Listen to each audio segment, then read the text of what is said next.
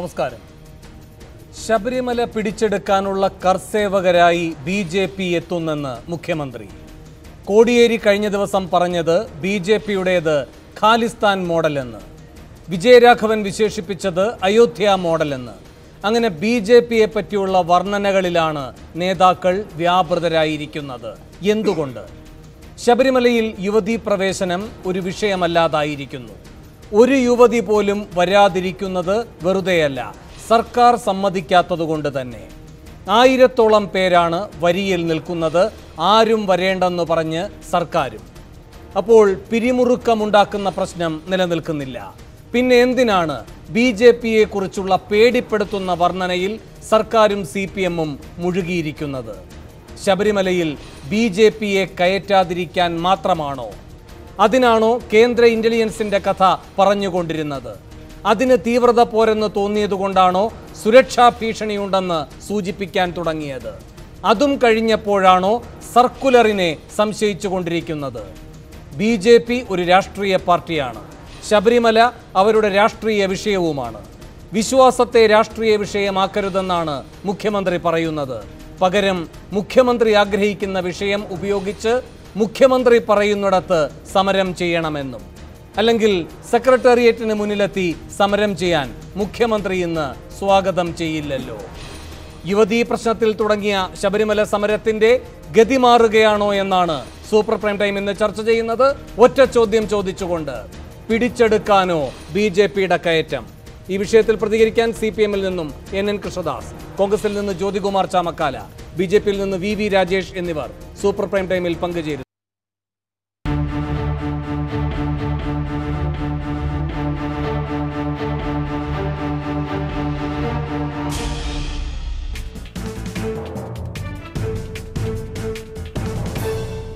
ശബരിമലയ്ക്കായി പിടിവലിയോ എന്നാണ് super prime time ആദ്യം ചർച്ച ചെയ്യുന്നത്. എൻ എൻ കൃഷ്ണദാസ് എത്തിച്ചേർന്നിട്ടില്ല. അല്പനേരത്തിനകം അദ്ദേഹം എത്തിച്ചേരുമെന്ന് പ്രതീക്ഷിക്കുന്നു. ശ്രീ വി വി രാജേഷ് മുഖ്യമന്ത്രി ഇന്ന് പറഞ്ഞ നിർദ്ദേശം കേട്ടോ. സെക്രട്ടേറിയറ്റിന് മുന്നിലാക്കി കൂടെ സമരം. കാരണം സി പി എമ്മിനെതിരെയാണ് ഈ സമരമെന്ന് ബി ജെ പി സംസ്ഥാന അധ്യക്ഷൻ പറയുകയാണ്. യുവതീ പ്രവേശമല്ല ഇപ്പോഴത്തെ വിഷയമെന്നും പറയുന്നു. യുവതീ പ്രവേശമല്ല എങ്കിൽ അത് നടക്കും എന്ന് കരുതി നിങ്ങൾ കാവൽ നിന്ന ശബരിമലയെ പിന്നെ സമരകേന്ദ്രമാക്കുന്നതിന്റെ അർത്ഥം എന്താണ് എന്നാണ് മുഖ്യമന്ത്രി ഭംഗേന്ദ്രനാണ് ചോദിക്കുന്നത്. എന്തുകൊണ്ട്? വേണം ആദ്യം തന്നെ മുഖ്യമന്ത്രിയുടെ ഒരു രാഷ്ട്രീയ ബുദ്ധി കേരളത്തിലെ ജനങ്ങൾ മനസ്സിലാക്കണം. സമര കേന്ദ്രം സമരം എന്നുള്ള വാക്ക് ഒരു ഭാഗത്ത് B J P R S S ഒരു ഭാഗത്ത് ഗവൺമെന്റ് എന്ന് വരുത്താൻ ബോധപൂർവം ഒരു ശ്രമം നടത്തുകയാണ്. അവിടെ സമരം നടക്കുന്നില്ല. ഇവിടെ ശബരിമലയിൽ പ്രതിഷേധം ആരംഭിച്ചതെന്നാണ്. ഐ ജി ശ്രീജിത്തിന്റെ നേതൃത്വത്തിൽ രഹിന ഫാത്തിമയെയും കൊണ്ട് പോലീസുകാർ പോയ ദിവസമാണ് അവിടെ നാമജപം ആരംഭിച്ചത്. അന്ന് അവിടെ ഒരിക്കലും ഒരു സമരത്തിന്റെ രൂപത്തിലായിരുന്നില്ല. ഒരു രാഷ്ട്രീയ നേതാക്കൾ വേണുവിന് അന്ന് അവിടെ നാമജപം നടത്തി ആരുടെയെങ്കിലും പേര് അങ്ങേക്കറിയാമോ ഏതെങ്കിലും ഒരു പാർട്ടിയുടെ രാഷ്ട്രീയ പാർട്ടിയുടെ നേതാവ് ഞാനിവിടെ തൊട്ടടുത്ത് വീട്ടിലിരുന്നിട്ടാണ് ടി വി കണ്ടിട്ടാണ് മനസ്സിലാക്കിയത്. അവിടെ സ്വാഭാവികമായിട്ട് ഒരു യുവതി വരുന്നു ആചാരലംഘനം നടക്കാൻ പോകുന്നു തന്ത്രി നട അടയ്ക്കാൻ പോകുന്നു എന്ന് പറഞ്ഞപ്പോഴേക്കും കീഴ്ശാന്തിമാരൊക്കെ അവിടെ പതിനെട്ടാം പടിയുടെ അടുത്ത് ധർണയ്ക്ക് വരുന്നു എന്ന് അറിഞ്ഞപ്പോഴേക്കും അവിടെ കൂട്ടം കൂടിയ ഇപ്പോൾ അഞ്ച് വയസ്സ് എട്ട് വയസ്സായ കൊച്ചു കുട്ടികൾ ഉൾപ്പെടെയുള്ളവർ നാമജപം നടത്തി. അവർ ഐ ജി ശ്രീത്തിനോട് കരഞ്ഞപേക്ഷിച്ചു രഹ്ന ഫാത്തിമയോട് കരഞ്ഞപേക്ഷിച്ചു ഞങ്ങളുടെ വിശ്വാസം തകർക്കരുത്. അവിടെ നിന്നാണ് ഇത് ആരംഭിക്കുന്നത്. ഞങ്ങളൊക്കെ അവിടെ ചില ദിവസങ്ങൾ പോകാനുണ്ടായ സാഹചര്യം ഒരിക്കലും ഇല്ലാത്തതുപോലെ അവിടെ ലാത്തി ഉപയോഗിക്കാറില്ലായിരുന്നു അത് സംസ്കാരമായിരുന്നു. അവിടെ ഷീൽഡ് ഉപയോഗിക്കാറില്ലായിരുന്നു. അവിടെ പോലീസുകാർ പരസ്പരം സ്വാമി അല്ലെങ്കിൽ അയ്യപ്പ എന്ന് വിളിക്കുമായിരുന്നു. പോലീസുകാരുടെ കേരളത്തിലെ കേരള പോലീസിന്റെ ചരിത്രത്തിൽ ഞങ്ങളൊക്കെ പോലീസിനെ നമിക്കുന്ന സാഹചര്യം ഉണ്ടായിട്ട് പതിനെട്ടാം പടിയിലൊക്കെ അവർ നല്ല ജോലി ചെയ്തിട്ടുണ്ട്. കേട്ടോ ആ സംസ്കാരമൊക്കെ മാറ്റിക്കൊണ്ട് ഷീൽഡും ലാത്തിയും ഒക്കെ ആയിട്ട് ടിയർ ഗ്യാസിലൊക്കെ ആയിട്ട് അവിടുത്തെ ട്രാക്ടറിലൊക്കെ ലാത്തി കൊണ്ടുപോകുന്നു ടിയർ ഗ്യാസിൽ കൊണ്ടുപോകുന്നു. അങ്ങനെ ഒരു അവസ്ഥ വന്നപ്പോഴേക്കും ഭക്തർ ഭയചകിതരായി തുടങ്ങിയപ്പോഴപ്പോഴാണ് പൊതുപ്രവർത്തകർ പലരും ഒറ്റയ്ക്കും കൂട്ടമായും അവിടെ പോയിട്ട് ഭക്തരുടെ ആശങ്ക മാറ്റാൻ വേണ്ടി ശ്രമിച്ചത്. ഒരിക്കലും ശബരിമല സമരകേന്ദ്രമല്ല സമരകേന്ദ്രമായിട്ടുമില്ല കഴിഞ്ഞ ദിവസം തന്നെ ഇപ്പോൾ പൂജപ്പുര ജയിലിൽ കുറേ പേര് അറസ്റ്റ് ചെയ്തിട്ടുണ്ടല്ലോ. അവരാരും ഒരു മുദ്രാവാക്യം വിളിച്ചില്ലല്ലോ വേണു. അവരാരാണെന്ന് അവർക്ക് പരസ്പരം പോലും അറിയാം അവർ സ്വാമി ശരണം എന്ന് മാത്രം ഇന്നിപ്പോൾ ആറ് പേരെ പമ്പ സന്നിധാന സ്റ്റേഷനിൽ പിടിച്ചതായിട്ട് അറിഞ്ഞു. ഈ ആറ് പേര് സ്വാമിയെ ശരണമയ്യപ്പ എന്ന് വിളിച്ചതിലപ്പുറം അവർ വേറൊന്നുകൂടെ വിളിച്ചില്ല. അപ്പോൾ സമരകേന്ദ്രം എന്നുള്ള മുഖ്യമന്ത്രിയുടെ വാക്ക് തന്നെ ഞാൻ നിരാകരിക്കുകയാണ്. ഞാനത് ഉപയോഗിക്കുന്നത് ഒരു കാര്യം പറഞ്ഞോട്ടെ. ഈ അറുപത്തിയൊൻപത് പേരെ ഇപ്പോൾ പൂജപ്പുര സെൻട്രൽ ജയിലിലേക്ക് കൊണ്ടുവന്നത് പരസ്പരം പേര് പോലും അറിയില്ല എന്നാണ് അവർ ആ ഘട്ടത്തിൽ പറഞ്ഞത്. മുഖ്യമന്ത്രി ഇന്ന് അതിനകത്ത് പ്രധാനപ്പെട്ട ആളുകളുടെ പേര് വിവരങ്ങളൊക്കെ പറയുകയുണ്ടായി. അതൊക്കെ ആർ എസ് എസുമായി ബന്ധപ്പെട്ട മുഖ്യമന്ത്രിക്ക് ഇന്റലിജൻസ് സോഴ്സ് ഉണ്ട്. എനിക്കതില്ല. വേറെ ഞാൻ അങ്ങന്റെ മറ്റേ ചോദ്യത്തിന്റെ അവസാന ഭാഗം പറയട്ടെ. സമരം എന്താ ശരണം വിളിക്കേണ്ടത് സെക്രട്ടറിയേറ്റ് അയ്യപ്പൻ ഇരിക്കുന്ന സെക്രട്ടറിയേറ്റിനകത്താണോ സെക്രട്ടേറിയറ്റിനകത്ത് അയ്യപ്പൻ ഇരിക്കുകയാണെങ്കിൽ ജനങ്ങൾ ഇവിടെ ശരണം വിടാൻ വിളിക്കും. ശരണം വിളിക്കേണ്ട പിണറായി വിജയൻ പിണറായി സ്വാമിയെ അയ്യപ്പൻ എന്ന് വിളിക്കുക പിണറായി പിണറായി അയ്യപ്പൻ എന്ന് വിളിക്കാൻ പറ്റുമോ? മുഖ്യമന്ത്രി അയ്യപ്പൻ എന്ന് വിളിക്കാൻ പറ്റുമോ? അയ്യപ്പൻ ഇരിക്കുന്നിടത്താണ് ശരണം വിളിക്കേണ്ടത്. അദ്ദേഹത്തിന്റെ ബേസിക് പ്രിൻസിപ്പിൾ പോലും അറിയാതെ അദ്ദേഹം ഇത്രയും വിശ്വാസികളുള്ള ഒരു സംസ്ഥാനം ഭരിക്കുമ്പോഴേക്കും അവിശ്വാസികളുടെ കാര്യം മാത്രമല്ല കമ്മ്യൂണിസ്റ്റുകളുടെ കാര്യം മാത്രമല്ല വിശ്വാസികളുടെ മുഴുവൻ കാര്യം അദ്ദേഹം അറിയണ്ടേ ഇന്ന് അദ്ദേഹം പലരുടെയും പേര് പറഞ്ഞിട്ടുണ്ട് എന്ന് ഞാൻ മനസ്സിലാക്കുന്നു. അദ്ദേഹത്തിന് സിസ്റ്റം ഉണ്ട്. അദ്ദേഹം അവിടുത്തെ പോലീസ് സംവിധാനം വെച്ച് അറസ്റ്റ് ചെയ്യേണ്ട പേര് വിവരം എടുത്ത് പത്രസമ്മേളനം നാളെ മുഖ്യമന്ത്രി എനിക്കും സാധിക്കും വേണമെന്ന് സാധിക്കും. ശരി ശ്രീ എൻ കൃഷ്ണദാസും ഇപ്പോൾ എത്തിയിട്ടുണ്ട്. ശ്രീ കൃഷ്ണദാസ് താങ്കൾക്ക് കേൾക്കാമോ? ആ കേൾക്കാം കേൾക്കാം. ശ്രീ കൃഷ്ണദാസ് എന്തുകൊണ്ടാണ് ഈ ശബരിമലയിൽ നിന്ന് സമരകേന്ദ്രം സെക്രട്ടേറിയറ്റിന് മുന്നിലേക്കാക്കണം എന്ന് നിങ്ങൾ ആവശ്യപ്പെടുന്നത്? എന്തുകൊണ്ടാണ് മുഖ്യമന്ത്രി പറയുന്നത് ബി ജെ പി കർസേവകരായി ശബരിമല പിടിക്കാൻ പോകുന്നുവെന്ന്? ശബരിമലയിൽ പോയി അവർ എന്ത് ചെയ്യുമെന്നാണ് നിങ്ങൾ ഈ സമൂഹത്തോട് പറയുന്നത്? അല്ല ഇന്നലെ ബി ജെ പിയുടെ സംസ്ഥാന പ്രസിഡന്റ് പരസ്യമായിട്ട് പറഞ്ഞ് നിങ്ങളുടെ ചാനലിൽ കൂടിയാണല്ലോ വന്നത്. ഞങ്ങൾ അവിടെ സമരം നടത്തുന്നത് കമ്മ്യൂണിസ്റ്റുകാർക്കെതിരായിട്ടാണ് സമരം എന്നുള്ളത്. കമ്മ്യൂണിസ്റ്റുകാർക്കെതിരായിട്ട് സമരം ചെയ്യുമ്പോൾ ശ്രീ അയ്യപ്പസ്വാമി ശബ അത് കമ്മ്യൂണിസ്റ്റ് അല്ലല്ലോ ഞങ്ങൾക്കെതിരായിട്ടാണ് സമരമെങ്കിൽ ഞങ്ങൾ ശബരിമലയിലില്ല. ഞങ്ങൾ പുറത്താണുള്ളത്. അവർക്ക് ഞങ്ങൾ അവരെ വെല്ലുവിളിച്ചു പരസ്യമായിട്ട് ഏത് പോയിന്റിലാണ് ഭരണഘടനയെ സംബന്ധിച്ചോ കോടതി വിധികളെ സംബന്ധിച്ചോ ആചാരങ്ങളെ സംബന്ധിച്ചോ വിശ്വാസത്തെ സംബന്ധിച്ചോ അവരുമായി ഏത് അറ്റം വരെയുള്ള പരസ്യ സംവാദങ്ങളിലും ഞങ്ങൾ ഏർപ്പെടാൻ സന്നദ്ധമാണ്. ഏത് ലക്ഷ്യത്തിലും? എന്തിനാണ് ഈ സന്നിധാനം സമരകേന്ദ്രമാക്കുന്നത്? രണ്ട് കാര്യങ്ങൾ. രണ്ട് കാര്യങ്ങൾ ഒന്നാമത് അവിടെ കമ്മ്യൂണിസ്റ്റ് അല്ലല്ലോ അയ്യപ്പൻ എന്ന് പറയുന്നു. നിങ്ങൾ അവിടെ ഇല്ലല്ലോ എന്നും. പക്ഷേ കമ്മ്യൂണിസ്റ്റ് ഭരണമാണ് ഇവിടെ നിലനിൽക്കുന്നത്. ആ ഭരണത്തിന്റെ സ്വഭാവമാണ് അവിടെ പ്രകടമാകുന്നത്. അപ്പോൾ ഭരണത്തിന്റെ സ്വഭാവം എവിടെ പ്രകടമാകുന്നോ? അവിടെയാണ് പ്രതിഷേധത്തിന് പ്രസക്തി. അതുകൊണ്ടാണത് അത് സമരകേന്ദ്രമാകുന്നത് എന്ന് അങ്ങേക്കും അറിയാത്ത കാര്യമല്ല. രണ്ടാമതായി ഈ പരസ്യ സംവാദത്തിന് വെല്ലുവിളി. വെല്ലുവിളിയൊന്നും വേണ്ട. ഇരുപക്ഷത്തു നിന്ന് നിങ്ങൾ രണ്ടുപേരും നിങ്ങളുടെ രണ്ടു ഭാഗവും പറയുന്നുണ്ട്. അതിന് വെല്ലുവിളി എന്നൊരു മേമ്പൊടി വേണ്ട. ആ മേമ്പൊടി എന്നത് ഏതെങ്കിലും ഒരു പരിമിതാർത്ഥത്തിലേക്കാകുന്നു. ഇപ്പോൾ അങ്ങനെയല്ലല്ലോ. എല്ലാവരും പങ്കുചേരുന്ന വിശാലാർത്ഥത്തിലുള്ള സംവാദം നടക്കുകയല്ലേ? അതങ്ങനെ പോകട്ടെ? അപ്പോൾ അതല്ല താല്പര്യം. നിങ്ങൾ ഉദ്ദേശിക്കുന്ന സ്ഥലത്ത് നിങ്ങൾ ഉദ്ദേശിക്കുന്ന വിഷയത്തിലേക്ക് ഈ പ്രതിഷേധത്തെ പരിമിതപ്പെടുത്തുക എന്നതാണ്. അത് ഏതെങ്കിലും ഒരു രാഷ്ട്രീയ പാർട്ടി അനുവദിക്കുമോ? അവരുടെ സുവർണാവസരമാണത്. അതാരവർക്ക് തളികയിൽ വെച്ച് കൊടുത്തു എന്ന ആഭ്യന്തര ആലോചനയാണ് ഇപ്പോൾ നിങ്ങളെ സംബന്ധിച്ച് അഭികാമ്യം. തീർച്ചയായും ബി ജെ പിയും ആർ എസ് എസും മാത്രമായി വെള്ളപ്പൊക്കം കഴിഞ്ഞ് പുഴ മെലിഞ്ഞതുപോലെ ഈ സമരം ചുരുങ്ങി ചുരുങ്ങി വന്നു. അതിപ്പോൾ ഒരു നൂൽ പോലെയായി. ഇനി ഏതാവരങ്ങ് അപ്രത്യക്ഷമാവും ആ അപ്രത്യക്ഷമായിട്ട് സ്വയം ഇല്ലാതാവും. എന്താ ആർ എസ് എസിന്റെയും ബി ജെ പിയുടെയും സംഘപരിവാറിന്റെയും ലക്ഷ്യം? അവരെന്തിനു വേണ്ടിയിട്ടാണ് ഈ സന്നിധാനത്തും ശബരിമലയിലും സമരം ചെയ്യുന്നത്? എന്താ അവരുടെ ആവശ്യം? ഇപ്പോൾ ഈ വൃശ്ചികമാസം മണ്ഡലകാലം വന്നതിന് ശേഷം ഇവർ ആക്ഷേപിക്കുന്നത് പോലെ സുപ്രീം കോടതി വിധിയൊക്കെ നിലനിൽക്കുന്നുണ്ടെങ്കിലും അമ്പത് വയസ്സ് താഴെയുള്ള ഒറ്റയാളും അവിടെ പോയിട്ടില്ല. പിന്നെ എന്തിനാണ് ഹരിവദാസനം പാടി സ്വാമി ഉറങ്ങിയതിന് ശേഷം സന്നിധാനത്ത് ശരണം വിളിച്ച് ശല്യം ഉണ്ടാക്കുക എന്നൊക്കെ പറയുന്നത് എന്തൊരു എന്തൊരു വൃത്തികേടാ. എന്തിനാ അവരിങ്ങനെ ചെയ്യുന്നത്? അല്ലല്ല ശ്രീകൃഷ്ണദാസ് ഈ ശ്രീ മുഴുവൻ? അവരെന്ത് ചെയ്യുന്നു എന്നതിന് പകരം അവിടെ ഇപ്പോൾ യുവതികളില്ല. അവർ എന്ത് ചെയ്യുമെന്ന് നിങ്ങൾ ഭയക്കുന്നു? അല്ലെങ്കിൽ നിങ്ങൾ സംശയിക്കുന്നു. അവിടെ ബി ജെ പിക്കാർ ഈ ആർ എസ് എസ്സുകാർ ഇരുന്ന് ശരണം വിളിച്ച് അയ്യപ്പന്റെ നിദ്രയെ ശല്യപ്പെടുത്തിയത് എന്നതാണോ അവർക്കെതിരെ നിങ്ങൾ ചാർജ് ചെയ്യുന്ന കേസ്? അല്ല കേസ് ചാർജ് ചെയ്തിട്ട് പോലീസ് കോടതി കൊടുത്തിട്ടുണ്ട്. അത്. വേണൂനും അറിയാം എല്ലാവർക്കും അതെ, അതെ. കേസ് ചാർജ് അല്ല, ശരി, സമ്മതിച്ചു. അവിടെ, അല്ല, ഒരു നൂറ്റി 144 വെച്ചുകൊണ്ട് ചാർജ് ചെയ്ത പോലീസ് നിയമപ്രകാരം നൂറ്റി നാൽപ്പത്തിനാല് വെച്ച് പറയുകയാണ്. സർ നൂറ്റി നാൽപ്പത്തിനാല് ആ, നിങ്ങൾ പ്രഖ്യാപിക്കുന്നു.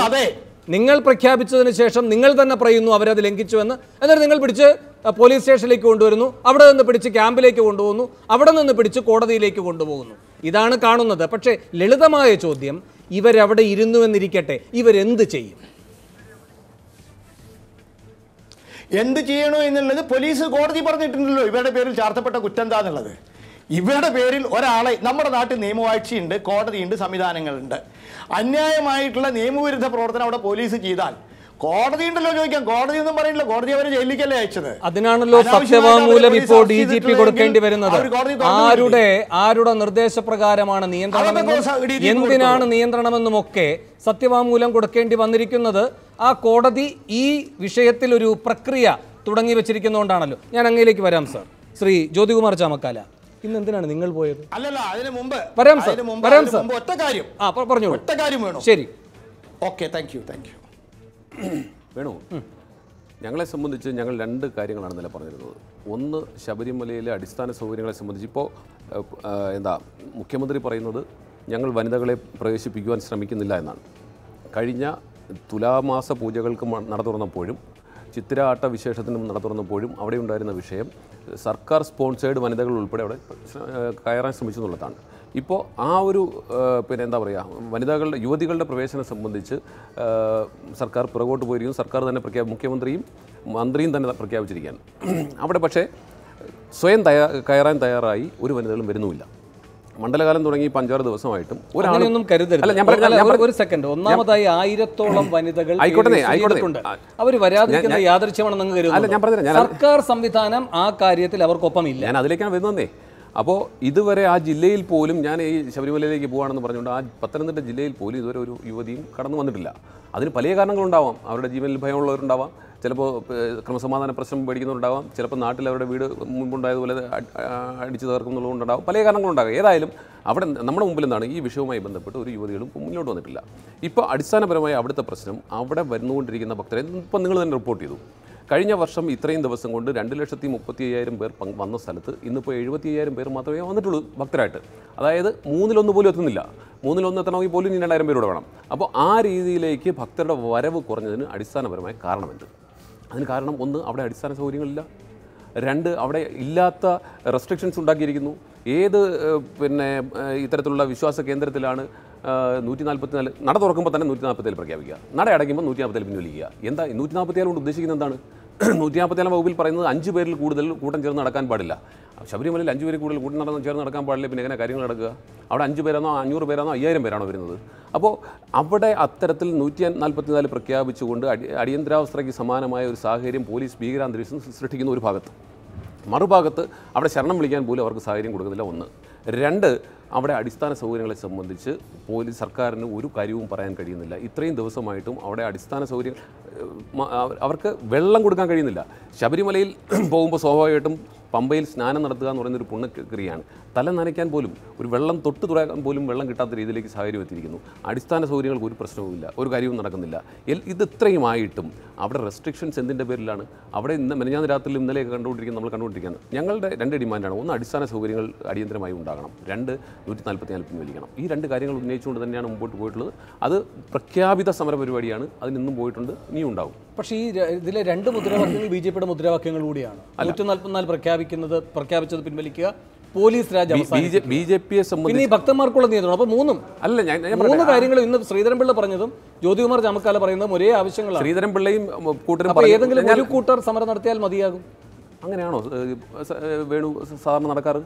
ഒരു സർക്കാരിന്റെ ഭാഗത്തു നിന്ന് വീഴ്ച ഉണ്ടായാൽ ഇന്ന പാർട്ടികൾ ചെയ്യാൻ പാടുള്ളൂ എൽ ഡി എഫ് ചെയ്യാൻ പാടുള്ളൂ എൽ ഡി എഫിനെതിരായിട്ടാണ് യു ഡി എഫ് മാത്രമേ ചെയ്യാൻ പാടുള്ളൂ ബി ജെ പി മാറി നിൽക്കുന്നതെന്ന് നിങ്ങൾ പറയാറ്? അതാണോ നിങ്ങളുടെ നയം. അല്ലല്ലോ ഞങ്ങളെ സംബന്ധിച്ച് ഞങ്ങൾ ഭക്തരോടൊപ്പമാണെന്ന് ഞങ്ങൾ പ്രഖ്യാപിച്ചിട്ടുണ്ട്. അത് ഞങ്ങൾ സ്റ്റേറ്റ്മെന്റ് ഓഫ് ഫാക്ട്സ് കൊടുത്ത പോലെ ഞങ്ങൾ ക്ലിയർ ആയിട്ട് നിൽക്കുന്നതാണ്. ഞങ്ങൾക്ക് ഒരു സ്റ്റാൻഡുണ്ട്.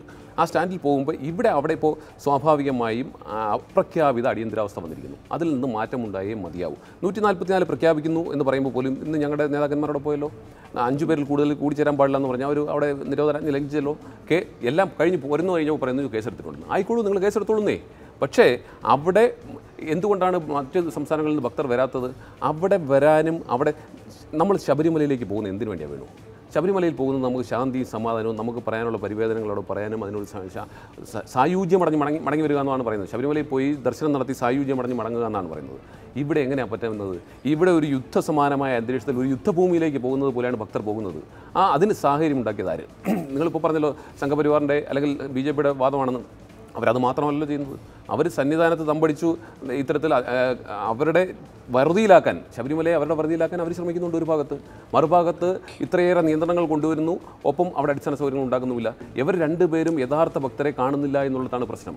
അവിടെ യഥാർത്ഥ ഭക്തരെ അവർക്ക് ഇതിലൊരു അടിസ്ഥാന പ്രശ്നം നിങ്ങളും ഈ പ്രക്ഷോഭത്തിലാണ് ബി ജെ പിയും ഈ പ്രക്ഷോഭത്തിലാണ്.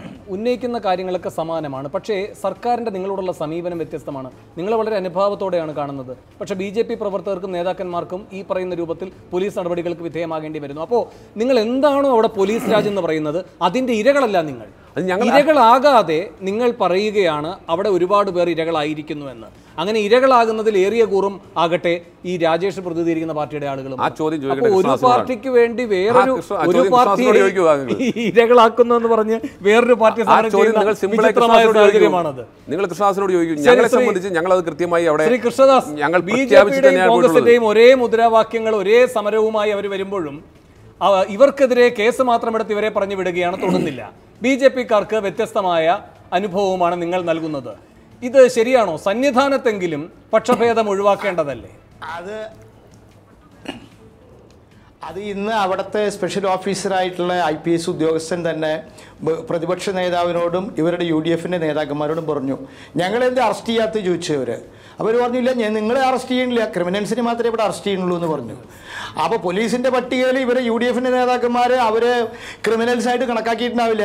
അല്ല ഈ ശ്രീ കൃഷ്ണദാസ് 64 ശ്രീ ആളെ കൃഷ്ണദാസ് പോലീസ് അങ്ങയിൽ നിന്ന് ഇത്തരത്തിലൊരു മറുപടിയാണ് ഞാൻ പ്രതീക്ഷിച്ചത്. എന്റെ ഒരു ചോദ്യത്തിനോട് അങ്ങ് മറുപടി പറയാമോ? അങ്ങനെയാണെങ്കിൽ നിങ്ങൾ ഇന്നലെ എഴുപത് പേരെ അറസ്റ്റ് ചെയ്തു. മെനഞ്ഞാന്ന് രാത്രി. അതിൽ അറുപത്തി ഒമ്പത് പേരെ നിങ്ങൾ ജയിലിൽ അടച്ചിട്ടുണ്ട്. ഈ അറുപത്തി ഒമ്പത് പേരെ ജയിലിൽ അടച്ചതിൽ നിങ്ങൾ അഞ്ചോ ആറോ പേരുടെ വെയർബോട്ട്സിനെ കുറിച്ചാണ് ഇന്ന് നിങ്ങളുടെ മുഖ്യമന്ത്രി പറഞ്ഞിരിക്കുന്നത്. ബാക്കി മുഴുവൻ ആളുകളുടെയും വെയർബോട്ട്സ് നിങ്ങൾക്ക് പറയാൻ കഴിയുമോ? അവർ ഏത് രാഷ്ട്രീയ പ്രസ്ഥാനത്തിൽപ്പെട്ടവരാണ്? എന്താണ് അവരുടെ അനുഭവം? എന്താണ് അവരുടെ നിങ്ങൾക്ക് പറയാൻ കഴിയുമോ? കഴിയില്ല. അവിടെയാണ് പ്രശ്നം. അവിടെയാണ് യഥാർത്ഥ ഭക്തർ പീഡിപ്പിക്കപ്പെടുന്നത്. അങ്ങിൽ നിന്ന് ഈ മറുപടി വേണമെന്നുള്ളത് കൊണ്ട് തന്നെയാണ് അങ്ങേക്ക് ഞാൻ ഈ ചോദ്യം ഹാൻഡ് ഓവർ ചെയ്തത്. കാരണം നിങ്ങൾ നിങ്ങൾക്ക് ധൈര്യമുണ്ടെങ്കിൽ ഈ എഴുപത് പേര് കൊണ്ടുപോയതിൽ അഞ്ചു പേരൊഴിച്ച് ബാക്കി അറുപത്തിയഞ്ച് പേരുടെ വേറെ കഴിയും. പുറത്തുവിടൂ നിങ്ങൾ പുറത്തു വിടൂ നിങ്ങൾ കഴിയുമോ? കഴിയില്ല നിങ്ങൾക്ക്. അവിടെയാണ് പ്രശ്നം. യഥാർത്ഥ ഭക്തരെ യഥാർത്ഥ ഭക്തരെ നിങ്ങൾ നിങ്ങൾ സംഘപരിവാർ ശക്തികളുടെ. പേര് പറഞ്ഞുകൊണ്ട് യഥാർത്ഥ ഭക്തരെ ഉൾപ്പെടെ പീഡിപ്പിച്ച് അടയ്ക്കുന്നു. അവിടെയാണ് പ്രശ്നം. അതാണ് അടിസ്ഥാനപരമായ പ്രശ്നം. അതാണ് ഞങ്ങൾ ചൂണ്ടിക്കാണിക്കുന്നത്. അതിനെതിരെയാണ് സമരം. അറുപത്തിനാല് ആളെ അറു- അറുപത്തിനാല് പേരെ ഇന്നലെ പോലീസ് അറസ്റ്റ് ചെയ്തിട്ട് ജയിലിൽ അടച്ചിട്ടുണ്ട്. അവരുടെ പേരിലുള്ള ചാർത്തപ്പെട്ട കുറ്റും അവരുടെ വേറെ വോട്ട്സും അവരുടെ ക്രിമിനൽ ബാക്ക്ഗ്രൗണ്ടും അവരെ മുഴുവൻ കോടതി പറഞ്ഞിട്ടുണ്ട്. നിങ്ങളോട് എന്തിനാ പറയണത് പോലീസ്? കോടതി അവിടെ ചോദ്യം, നിങ്ങളുടെ മുഖ്യമന്ത്രി ഇന്ന് അഞ്ച് ആറ് സംഘപരിവാർ ശക്തികളുടെ പേര് എന്ത് ചോദ്യം? അംഗങ്ങളുടെ പേര് പറഞ്ഞു. എന്തുകൊണ്ട് ബാക്കിയുള്ളവരുടെ പൊളിറ്റിക്കൽ ബാക്ക്ഗ്രൗണ്ട്. പറയാൻ കഴിയുന്നില്ല? അവിടെ പേരിൽ അവിടെ അടിസ്ഥാനപരമായ പ്രശ്നം. ഇല്ലാത്തതുകൊണ്ടതിന്റെ പേരിൽ അവിടെ പ്രതിഷേധിച്ചതിന്റെ പേരിൽ അവരെ ജയിലിൽ അടച്ചിരിക്കുന്നു അപ്പോൾ അത്തരത്തിൽ യഥാർത്ഥ ഭക്തരെ ജയിലിൽ അടയ്ക്കുന്നതിനെതിരായിട്ടാണ് സമരം നിങ്ങൾ അത് കണ്ടില്ല എന്ന്. അവരുടെ അവിടെയാണ് നിങ്ങൾക്ക് വീഴ്ച പറ്റുന്നത്. നിങ്ങൾ സംഘപരിവാർ ശക്തികൾ എന്ന് പറയുകയും ഒപ്പം യഥാർത്ഥ ഭക്തരെ നിങ്ങൾ ജയിലാക്കുകയും ജയിലിലാക്കുകയും കോടതി ഇതിനെന്ത് നീതിയാണ് ഇതാണ് കാട്ടുനീതി ഇതാണ് ശ്രീ- ശ്രീ- ശ്രീ എൻ എൻ കൃഷ്ണദാസ്. വേണ്ടി ശ്രീ എൻ എൻ കൃഷ്ണദാസ്. ഉത്തരം ഞാൻ മറുപടി ഉണ്ടോ നിങ്ങൾക്ക്? നിങ്ങൾ ഈ എസിന്റെ അഞ്ച് പേരുടെ പേര് പറഞ്ഞതിന് പകരം നിങ്ങൾ ഈ എഴുപത് പേരുടെയും പൊളിറ്റിക്കൽ ബാക്ക്ഗ്രൗണ്ട് നിങ്ങൾക്ക് പ്രഖ്യാപിക്കാൻ കഴിയുമോ മുഖ്യമന്ത്രി കഴിയുമോ ഈ ചർച്ചയുടെ ഒരു മണിക്കൂർ ഈ ചർച്ചയുടെ ശ്രീ എൻ എൻ കൃഷ്ണദാസ് ഈ ചർച്ചയുടെ ഒരു മണിക്കൂർ സമയം. ഈ.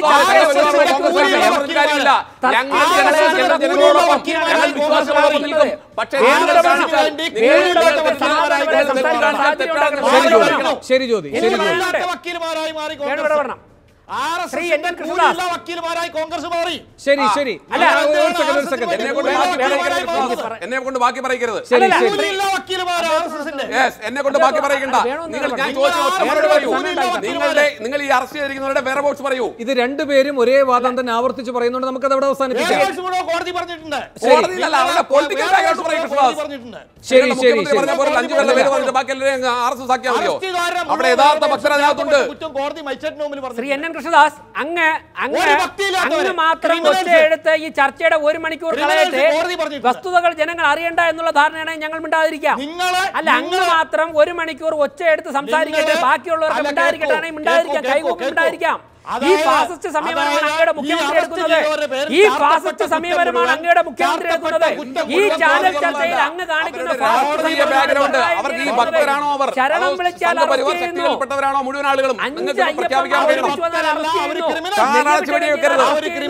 അങ്ങ് ഈ അയ്യപ്പനെ അറസ്റ്റ് ചെയ്തിരിക്കുന്നു അയ്യപ്പനെ അറസ്റ്റ് ചെയ്ത് വെച്ചിരിക്കുന്നു. അങ്ങ് സമാധാനപരമായി ചർച്ച ചെയ്യാൻ തയ്യാറാകണം. വേണു ഇതിൽ ശ്രീ എൻ എൻ കൃഷ്ണദാസ് ഒരു കാര്യം പറഞ്ഞല്ലോ. ഒരു ഭാഗത്ത് R S S B J P മാത്രമാണ് സമരം ചെയ്യുന്നത്. നാളെ ഇത് അലിഞ്ഞലിഞ്ഞലിഞ്ഞലിഞ്ഞ് ഇങ്ങനെ എത്ര നടക്കാത്ത മനോഹരമായ സ്വപ്നം. അങ്ങ് കണ്ടില്ലേ സുഹൃത്തെ? എൻ എസ് എസ് സമരരംഗത്താ. പന്തളം കൊട്ടാരം അല്ലല്ല ഞാൻ പറഞ്ഞോട്ടെ. ഞാൻ ഒരുപാട് സമയം ഒരുപാട് സമയം ഒരുപാട് സമയം അങ്ങ് പറഞ്ഞപ്പോൾ ഞാൻ ഇപ്പോ. സ്വസ്ഥതയോടെ കാത്തിരുന്നില്ലേ? ഞാൻ കംപ്ലീറ്റ് ചെയ്യട്ടെ? ആദ്യമായിട്ട് പന്തളം കൊട്ടാരം നടത്തിയ ആഹ്വാനം അനുസരിച്ച് അയ്യായിരം വനിതകൾ പന്തളത്ത് തടിച്ചുകൂടി. ഒരു ബി ജെ പിയും ഒരു ആർ എസ് എസും ഒരു സംഘപരിവാർ ശക്തികളും അവിടെ പോയില്ല. എൻ എസ് എസ് ഒരിക്കലും ബി ജെ പിയോട് രാഷ്ട്രീയമായ അനുകൂല നിലപാടുകൾ പലപ്പോഴും എൻ എസ് എസ് ഒരിക്കലും സ്വീകരിച്ചായിട്ട് എനിക്കറിയില്ല. എൻ എസ് എസിന് ശരിദൂരമുണ്ട് സമദൂരമുണ്ട്. ആ എൻ എസ് എസ് സംവരണവും ബാക്കി എല്ലാ സാധ്യതകളും അവിടെ നിൽക്കട്ടെ. സംസ്കാരം സംരക്ഷിക്കാൻ ഞങ്ങൾ ഇറങ്ങുമെന്ന് പറഞ്ഞുകൊണ്ട് എൻ എസ് എസ് ലക്ഷക്കണക്കിന് ആൾക്കാരെയും വനിതകളെയും രാജേഷ്, ഇവിടെ സംഘടിപ്പിച്ചുകൊണ്ട് നില്ല് വേണു, കൃഷ്ണദാസ് പറയുന്ന നില്ല് വേണു. പ്രധാനപ്പെട്ട ആക്ഷേപം നില്ല് വേണു. അല്ലല്ല. 69 പേരും അല്ല വേണു. ക്രിമിനലുകളാണ് ഞാൻ പറയട്ടെ. അത് ഞാൻ മറുപടി തരാം എനിക്ക് ദൈവം രണ്ട് മിനിറ്റ് സമയം തരണം. എൻ എസ് എസ് രംഗത്തുണ്ട്. വളരെ ശക്തമായിട്ടുണ്ട്. അതുകൊണ്ട് നാളെ ഇതങ്ങ് അലിഞ്ഞലിഞ്ഞ് തീരും എന്നൊന്നും പറഞ്ഞ് പേടിപ്പിക്കേണ്ട. ഇനി ബഹുമാനപ്പെട്ട അങ്ങ് എം പി ആയിരുന്ന ആളല്ലേ? കുറച്ചുകൂടി ഗൗരവമായിട്ട് കാര്യങ്ങൾ കൈകാര്യം ചെയ്യണ്ടേ. അങ്ങ് പറഞ്ഞത് ഒന്ന് അൻപത് വയസ്സിന് മുകളിലുള്ള ആരും തന്നെ അവിടെ പോയിട്ടില്ല പോകുമെന്ന് തോന്നുന്നില്ല. ഇക്കാര്യം അങ്ങയുടെ മുഖ്യമന്ത്രി പറഞ്ഞാൽ മതി. അമ്പത് വയസ്സിനും താഴെയുള്ള മുകളിലല്ല സോറി താഴെയുള്ള. അമ്പത് വയസ്സിന് താഴെയുള്ള ഒരാളും അങ്ങോട്ട് പോകുന്നില്ല എന്ന് അങ്ങയുടെ മുഖ്യമന്ത്രി പറഞ്ഞാൽ ഈ പ്രശ്നം ഇവിടെ അവസാനിച്ചു. വേറൊന്നും അങ്ങ് പറഞ്ഞു ക്രിമിനൽ പശ്ചാത്തലം ഇല്ലാത്തവരെയൊക്കെ വിട്ടു. ക്രിമിനൽ പശ്ചാത്തലം ഉള്ളവരെയാണ് അറസ്റ്റ് ചെയ്ത് തടഞ്ഞിരിക്കുന്നത്. ക്രിമിനൽ പശ്ചാത്തലം എന്ന് പറയുമ്പോഴേക്കും ശശികല ടീച്ചർക്ക് എന്താ ക്രിമിനൽ പശ്ചാത്തലം? കെ സുരേന്ദ്രൻ എന്താ ക്രിമിനൽ പശ്ചാത്തലം? കെ സുരേന്ദ്രനുള്ള അതേ സമരത്തിന്റെ ക്രിമിനൽ കേസുകൾ രമേശ് ചെന്നിത്തലയ്ക്ക് കൊണ്ട് ഉമ്മൻചാണ്ടിക്കുണ്ട് ശ്രീ കടകംപള്ളി സുരേന്ദ്രനെ പിടികിട്ടാ പുള്ളിയായിട്ട് രണ്ടാഴ്ച മുമ്പ് തിരുവനന്തപുരത്ത് ഒരു കോടതി പ്രഖ്യാപിച്ചു. അദ്ദേഹം വേറെ തേങ്ങാമോഷണം നടത്തിയൊന്നുമല്ല അദ്ദേഹം അക്രമം നടത്തിയൊന്നുമല്ല അദ്ദേഹം യു ഡി എഫ് ഗവൺമെന്റിന്റെ തെറ്റായ നയങ്ങൾക്കെതിരെ സമരം ചെയ്തതിൽ അദ്ദേഹം പിടികുട്ടാ പുള്ളിയായിട്ട് പ്രഖ്യാപിച്ചു. കടകംപള്ളി സുരേന്ദ്രന്റെ പേരിൽ ഇന്ന് ഒരു ക്രിമിനൽ കേസും ഇല്ലെന്ന് അങ്ങേക്ക് പറയാൻ സാധിക്കുമോ?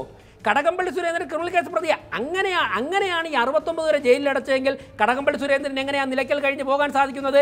അതുകൊണ്ട് ഇത്തരം വിഡ്ഢിത്തങ്ങൾ പറയരുത്. മറ്റൊന്ന് അറുപത്തൊമ്പത് വരെ ജയിലിലടച്ചു. ഞാൻ മനസ്സിലാക്കുന്ന അതിൽ പാവപ്പെട്ട ഒരു ഭക്തനെ നിങ്ങൾ സസ്പെൻഡ് ചെയ്തു എന്നാ. ശബരിമലയിൽ ശരണം വിളിച്ചത് കൊണ്ട് ഒരു അയ്യപ്പ ഭക്തനെ സസ്പെൻഡ് ചെയ്യുന്ന ഗവൺമെന്റിനോട് ഞാൻ ചോദിക്കുക നിങ്ങൾ എങ്ങോട്ടാണ് ഈ സംസ്ഥാനത്തെ കൊണ്ടുപോകുന്നത്?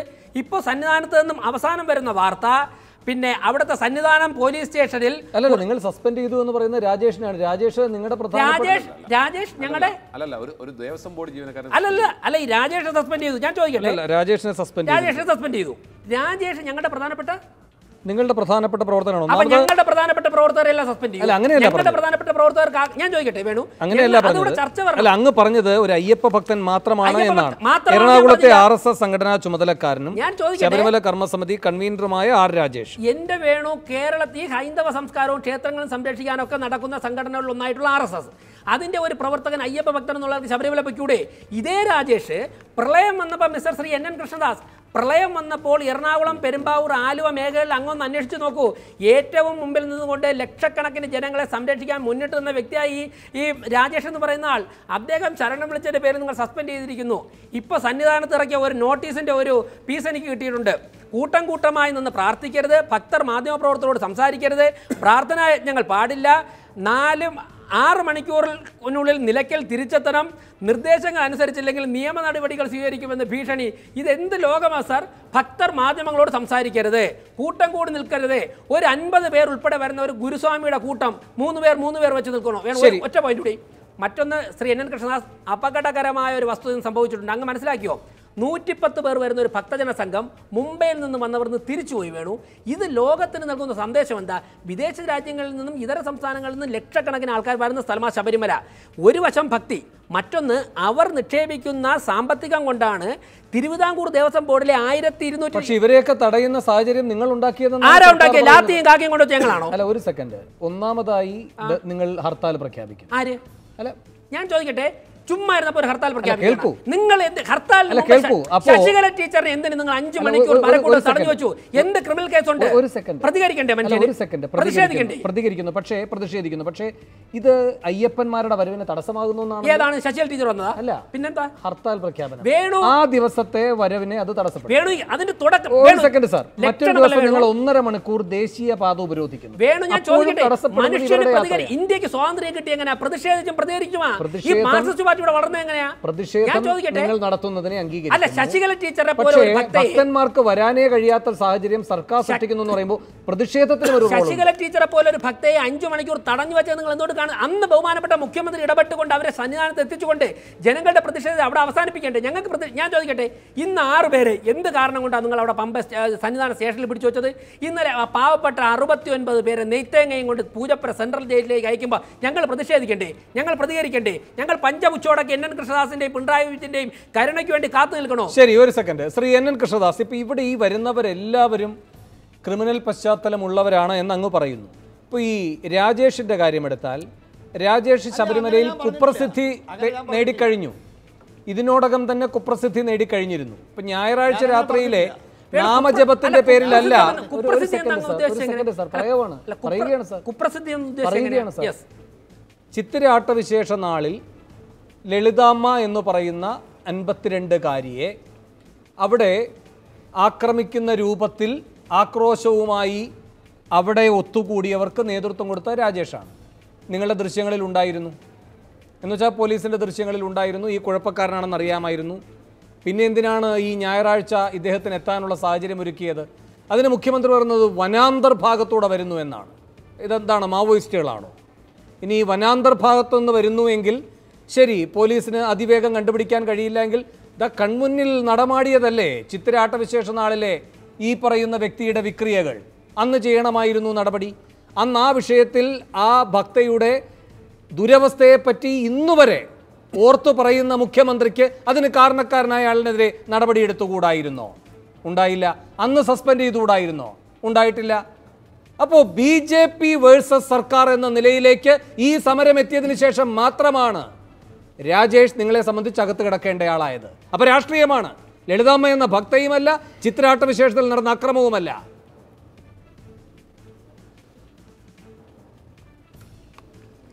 എനിക്ക് സംസാരിക്കാൻ പറ്റുമോ മിസ്റ്റർ പറയൂ പറയൂ ശ്രീകൃഷ്ണ.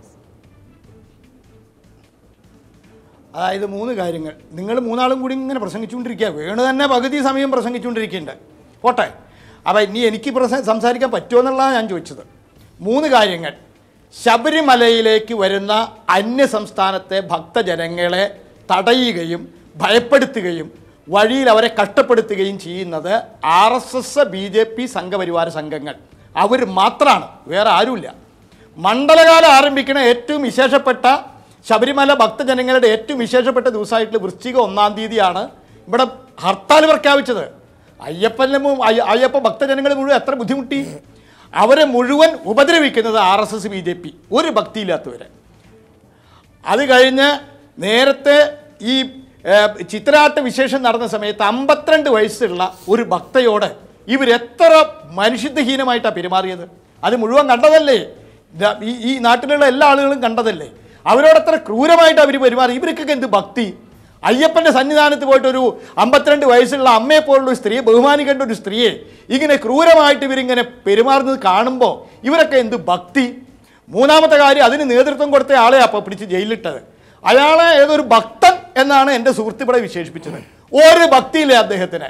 ഭക്തി ഇല്ല എന്ന് മാത്രമല്ല അദ്ദേഹം അക്രമം നടത്താൻ വേണ്ടി പ്രത്യേകം പരിശീലനം നടത്തിയിട്ടുള്ള ഒരു ആർ എസ് എസ് ക്രിമിനലാണ്. ആ ക്രിമിനൽ പശ്ചാത്തലമുള്ളതുകൊണ്ട് തന്നെ പോലീസ് അയാൾ പിടിച്ചത് വേണുമ്പോൾ പറഞ്ഞ പോലെ ചിത്രയാട്ട വിശേഷത്തിന് അന്ന് അക്രമം നടത്തിയത് കൃത്യമായിട്ട് പോലീസ് കണ്ടെത്തി പിടിച്ചു കുറ്റം ചാർത്തി ഇപ്പൊ അറസ്റ്റ് ചെയ്തിട്ടിട്ടുണ്ട്. ഇവരെല്ലാവരും ക്രിമിനൽ ബാക്ക്ഗ്രൗണ്ട് ഉള്ളവർ മാത്രം? ആളുകൾ ഏഹ് വത്സൻ തില്ലങ്കേരി ഇതൊരു അറസ്റ്റ് ചെയ്യാത്ത സർക്കാർ? വത്സൻ തില്ലങ്കേരിയെ? അറസ്റ്റ് ചെയ്യാത്തത് എന്തേ ഇതുപോലെ തന്നെ ഇതുപോലെ തന്നെ ഇതുപോലെ തന്നെ വിശേഷത്തിന് അവിടെ പതിനെട്ടാം പടി പതിനെട്ടാം പടി അശുദ്ധമാക്കി അവിടെ കലാപത്തിന് ആഹ്വാനം ചെയ്തു എന്ന് നിങ്ങളുടെ മന്ത്രിസഭ ഉൾപ്പെടെ നിങ്ങളുടെ മുഖ്യമന്ത്രി ഉൾപ്പെടെ നിങ്ങളുടെ പോലീസ് ഉൾപ്പെടെ പറഞ്ഞിട്ടുണ്ട്. അദ്ദേഹത്തെ എന്തുകൊണ്ട് നിങ്ങൾ അറസ്റ്റ് ചെയ്യുന്നില്ല?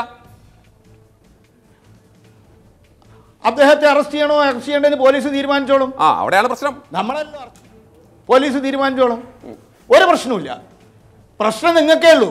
വേറെ ആർക്കും പ്രശ്നമില്ല. അങ്ങ് നിങ്ങൾക്ക് മാത്രമേ പ്രശ്നമുള്ളൂ. ആ ലളിതാദേവി ലളിത എന്ന് പറയുന്ന അൻപത്തിരണ്ടുകാരിയായ അമ്മയെ ആക്രമിച്ചതിന്റെ പേരിലല്ല.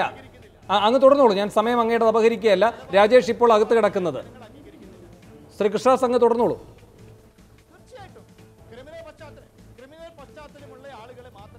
ഓ സൗണ്ട് ഇല്ല എത്ര ലക്ഷക്കണക്കിന് ആളുകളെ ഈ ദിവസങ്ങളിൽ അവിടെ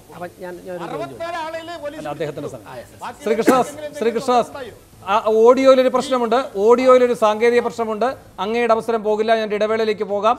അതിനുശേഷം അത് പരിഹരിച്ച് അങ്ങയിലേക്ക് തന്നെ വരാം. ഒരു ഇടവേള.